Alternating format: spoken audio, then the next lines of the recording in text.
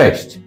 Z tej strony Radek i dzisiaj Wam na szybko pokażę, będzie to bardzo króciutki instruktaż, jak wykonać kleszcze e, z takiego zwykłego płaskownika. Jest to ta alternatywa, którą możecie wykorzystać do robienia kleszczy. Bierzecie płaskownik, tak jak wspominałem w filmie o kleszczach, to jest 3 cm na 4 mm. Wkładacie sobie kawałeczek, możecie sobie ewentualnie też oznaczyć. Dajcie mi sekundkę.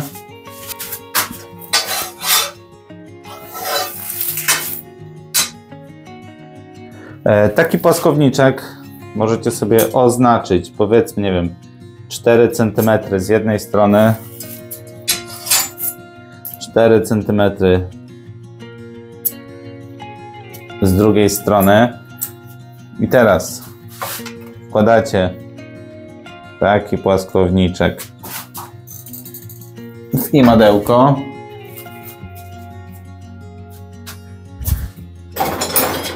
Bierzecie coś, czym będziecie obkręcać, obracać. Tutaj nie za bardzo potrzebujecie mieć jakichś fancy toolów i obracacie całość o 90 stopni. Wychodzi Wam mniej więcej coś takiego. Bierzecie drugą stronę.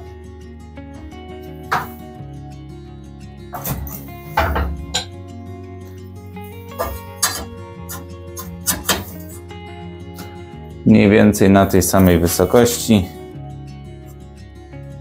I obracacie również o 90 stopni.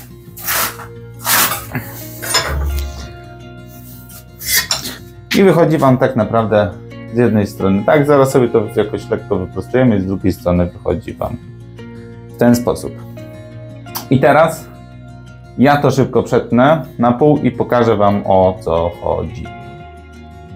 Wychodzi nam coś takiego, no nie jest idealnie na pół, ale zaraz tutaj wywiercimy i będziecie mieli kleszcze, bardzo proste, do złapania czegokolwiek, co jest gorące.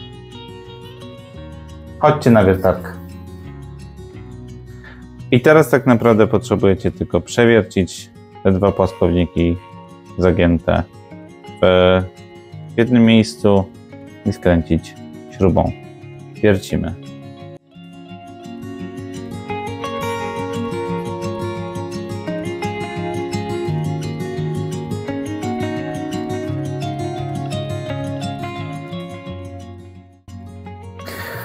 I teraz tak naprawdę mając już te e, dwa płaskowniczki zagięte z otworkami, wystarczy nam wstawić śrubkę.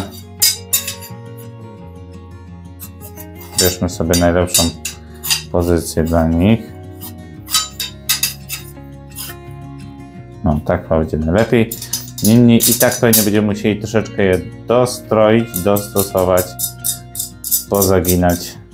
Proszę bardzo. I mamy już